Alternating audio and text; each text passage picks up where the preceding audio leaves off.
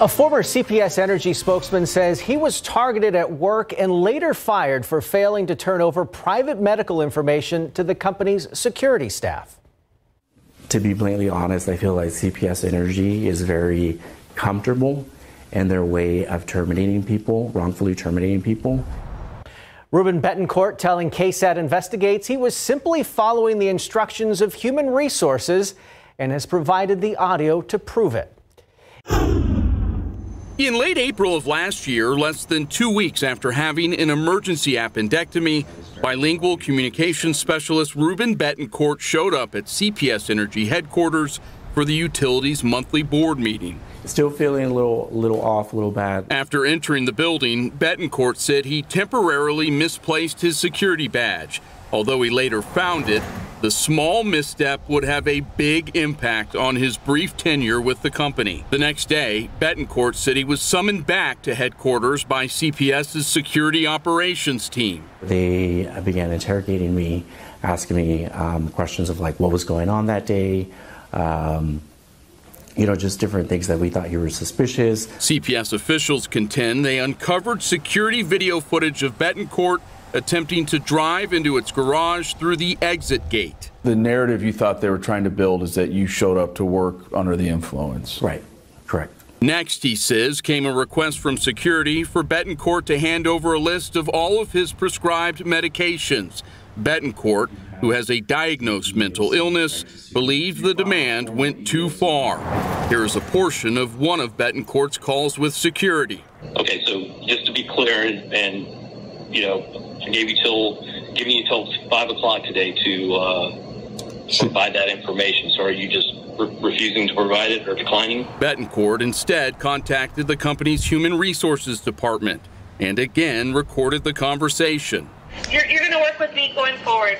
Okay. Um, okay. Perfect. I, I am, I'm going to, yeah, um, work with me. Don't provide them any information, especially since they're asking for medical documentation and everything that on a medical side, um, you know, with our HIPAA laws. Betancourt says he eventually complied with the request and turned over a list of his prescribed meds to HR and the company's manager of occupational health.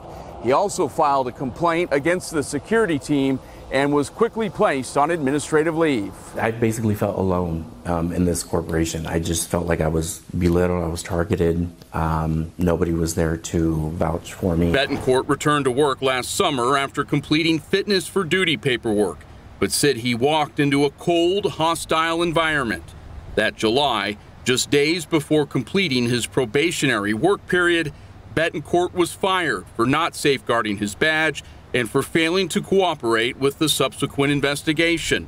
Betancourt says he lost his medical insurance and his car and temporarily experienced homelessness. I was compliant um, to the fullest with HR and occupational health.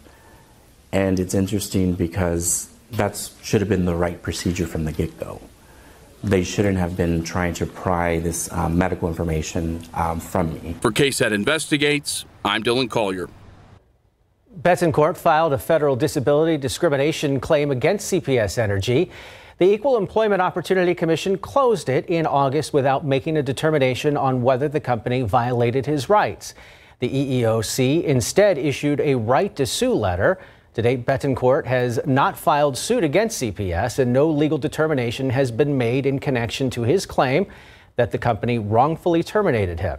He said half of the attorneys he's reached out to have cited a conflict of interest in taking a case against the utility company.